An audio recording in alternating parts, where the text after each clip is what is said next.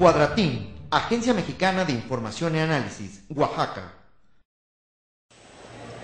El rector de la Universidad Autónoma Benito Juárez de Oaxaca, Eduardo Martínez Elmes, visitó la preparatoria número 6 para encabezar el acto inaugural del nuevo ciclo escolar. En el presidium estuvieron presentes la maestra Leticia Mendoza Toro, secretaria general de la UAPO, el médico veterinario soctenista José Alfredo Villegas Sánchez, director de la Escuela de Veterinaria,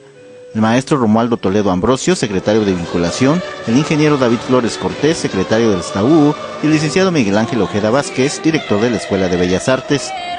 Se hicieron los honores a la bandera entonando el himno nacional. Acto seguido dio un mensaje de bienvenida a la maestra Leticia Mendoza Toro, quien dijo que en la preparatoria tienen la oportunidad de ser formados como bachilleres en ciencias y humanidades para después continuar su camino en alguna de las licenciaturas de esta universidad y exhortó a los alumnos que inician y a los que finalizan a poner en alto el nombre de este recinto. Posteriormente, el rector de la máxima casa de estudios inauguró formalmente este ciclo escolar, dando la bienvenida a los estudiantes al inicio del ciclo escolar, el cual permite evaluar el servicio anterior y afinar detalles para superar el desempeño en miras de un mejor funcionamiento en cada una de las actividades que la universidad nos ha encomendado. Cada uno de los directivos tenemos la obligación de hacer evaluaciones constantes para caminar con paso firme, dijo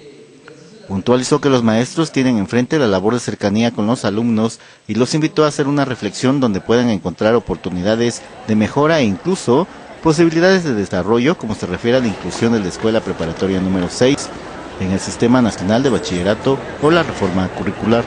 De igual forma, pidió a los alumnos que puedan hacer un ejercicio de reflexión y crítica propositiva y ver qué oportunidades hay de mejora del ejercicio anterior y poner metas y objetivos claros para obtener de este nuevo ciclo escolar un mejor desempeño, mejores estudios, mejor aprovechamiento. Si todos participamos de este ejercicio de reflexión y crítica propositiva, seguramente todos y cada uno de nosotros ayudaremos a que la universidad camine de mejor manera porque efectivamente el rumbo de la institución lo construimos nosotros. El maestro Eduardo Martínez Elmes dio por inaugurado el ciclo escolar 2012-2015 y posteriormente todos los presentes entonaron con gran orgullo el himno universitario. Con información de Vicente de la Cruz Arrazola, Agencia Cuadratín.